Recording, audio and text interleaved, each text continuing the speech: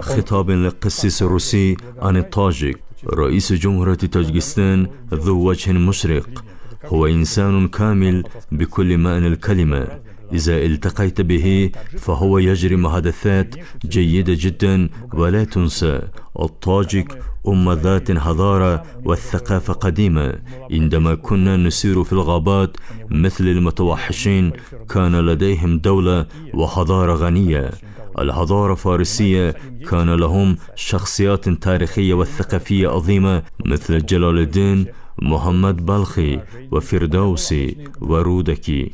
بينما لم يكن لدينا مثل هذه الشخصيات في ذلك الوقت. كما تعلمون أن لديهم حضارة والشخصيات يمكنهم أن يفتخروا بها.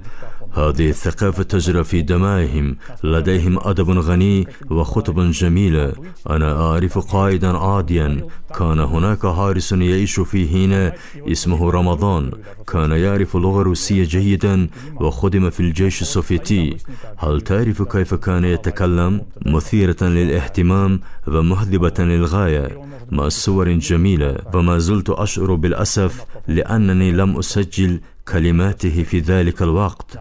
لقد أجرى محادثات جيدة جدا وشعرت ببلاغة شرقية في محادثاته. أنا أتحدث عن التاجيكي العادي.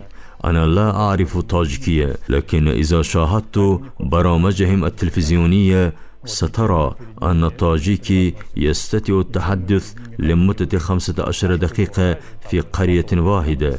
خذ مثل هذه المحادثة من أمتنا. لا يستطيع أن يقول جملتين يتحدثون بسهولة بل يقرؤون القصائد في منتصف محادثاتهم. وهذا دليل على الحضارة عالية للطاجك التي تسرى وراثيا في دماء كل منهم.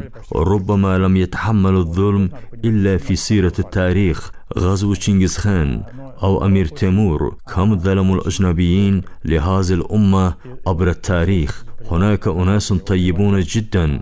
لم أشاهد هذا الحدث لكنني سمعته عبر الراديو. امرأة مهاجرة طاجيكية وطبعا مسلمة. تحمل على كتفها رجلا روسيا مخمورا وتأخذها إلى مكان معين وتقول إن الله أمرك بمساعدة الجميع. وتبين لاحقا أن هذا الرجل كان عالما وفي نفس اليوم ماتت زوجته وكان قادما من مراسم هداد وشرب خمر حزنا.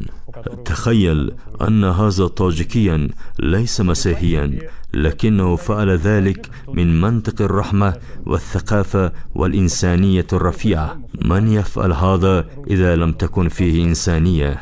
لاحقا يجد هذا الرجل المرأة الطاجيكية المهاجرة ويقول لها إنه كان لدي رأي سيء فيك من قبل ولكن الآن تغير رأيي فيك فيؤرب عن امتنانه فيأتي مبلغا معينا من المال. شعبنا لا يفعل هذا.